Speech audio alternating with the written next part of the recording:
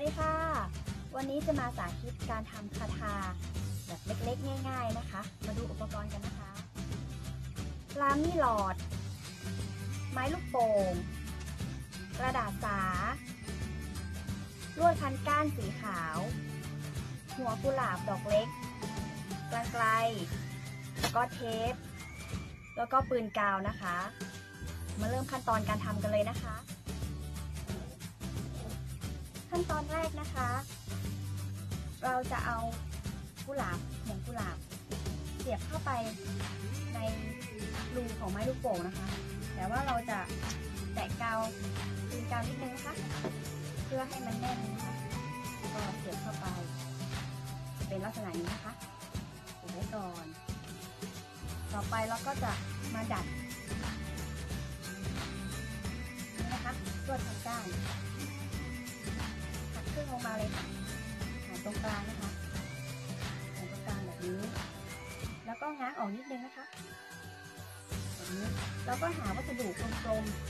ๆมาดัดนะคะ อันนี้ใช้ขวดยางนะคะแบบนี้นะคะก็แบบนี้ ให้เป็นรูปหัวใจ แล้วก็สามารถดัดนิดนึงนะคะ ให้มันเป็นทรงหัวใจออกมาแบบนี้นะคะ จากนั้นเราจะใช้ลามี่หลอด สอดเข้าไปนะคะ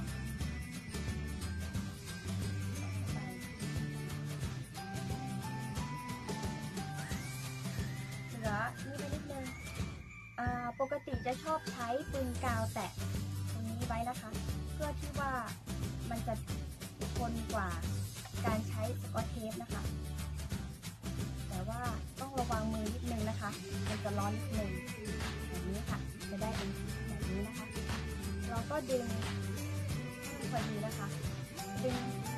ยืดออกมานิดนึงนะคะ แล้วก็ใช้กรรไกรตัดตรงปลายเลยนะคะ มันก็จะอยู่ในลักษณะนี้ เราก็ดึงมันนิดนึงแตะกาวหน่อยแบบนี้ค่ะออกมาแบบนี้นะคะ เราก็จะเอาติดกับไม้ลูกโป่งที่เตรียมไว้เมื่อกี้นะคะโดยการหักตรงนี้นิดนึงนะคะตรงปลายหักออกมานิดนึงเห็นไหมคะทั้งสองด้านเลยนะคะแบบนี้หักออกมานิดนึงเห็นไหมคะหักตรงปลายนี่อันนี้คือเทคนิคนะคะ เราก็จะเอาติดกับตัวของไม้ลูกโป่งนี่นะคะติดทีละด้านนะคะเราจะติดเทปก็กะระยะเอานะคะว่าให้มันพอดี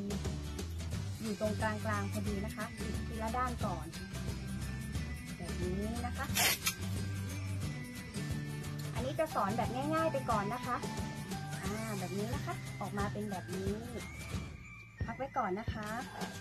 เราจะมาเตรียมกระดาษสากันนะคะ กระดาษสาแบบแผ่นนี่นะคะพับครึ่งเอ้ยพับสามค่ะ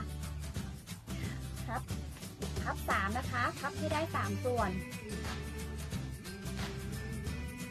พับให้ได้สามส่วน แล้วก็พับครึ่ง แบบนี้นะคะ จะได้ประมาณนี้ ไซส์ที่เราจะใช้พับครึ่งอีกทีนะคะ พับครึ่ง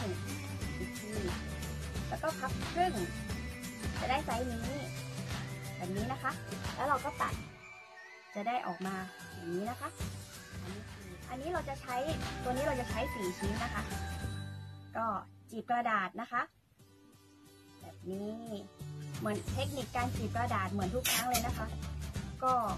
ใช้วิธี แบบนี้นะคะ แล้วก็จีบมาแบบนี้ไซส์เล็กอาจจะจีบยากนิดนึงนะคะไม่เออเราจะใช้เทคนิคการ เอาใส่เข้าไปในเดี๋ยวนะคะ แบบนี้จะจีบง่ายกว่า แต่ถ้าเราเอาแบบนี้ที่เทคนิคการจีบที่เคยสอนไปนะคะ แล้วกระทุ้งเอามือเข้าไปแบบนี้คือไซส์นี้มันจะเล็กอะค่ะ มันทำได้ยากนะคะ ไซส์นี้นะจีบแบบนี้จะง่ายกว่านะคะนี่ครบแล้วทั้ง 4 อันนะคะ เราก็ติดทีละอันนะคะ